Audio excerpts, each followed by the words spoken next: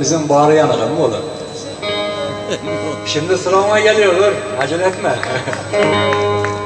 Şimdi Hoca Üstad'dan bir e, parça okuyalım. Ondan sonra tekrar devam edelim.